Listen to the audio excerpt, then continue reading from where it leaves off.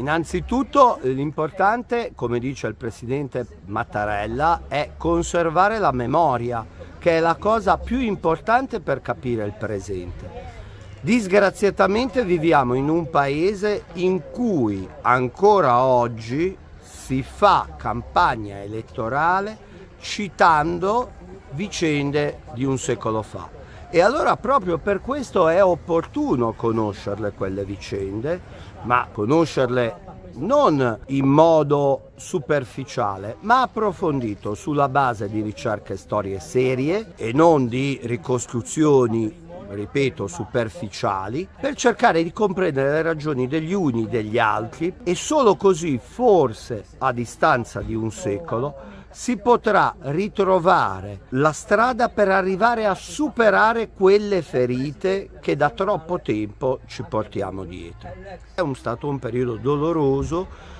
perché troppe famiglie da una parte e dall'altra hanno sofferto e quindi ecco spiegato il motivo per cui per anni di certe cose si è preferito poi non parlarne più. L'Italia, soprattutto la Liguria, la Savona, la Vado Ligure di allora erano località fortemente industrializzate, il paese usciva da una guerra mondiale.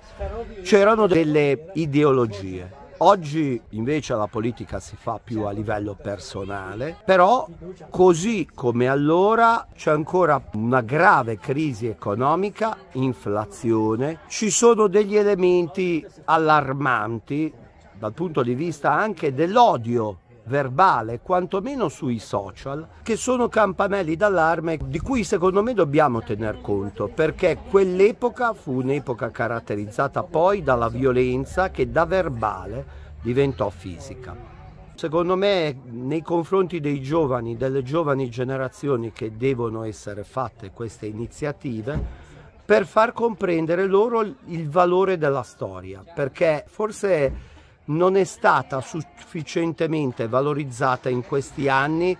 anche dai governi che abbiamo avuto.